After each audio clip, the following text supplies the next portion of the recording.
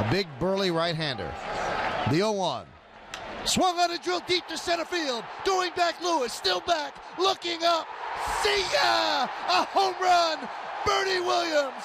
And the Yankees win the game 4 to 3.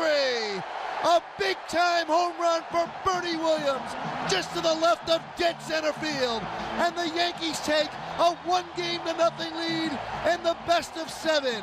And the Yankees are mobbing Bernie Williams around home plate. What a dramatic finish here in the bottom of the 10th inning. And the Yankees win 4 to 3 over their arch rival Red Sox.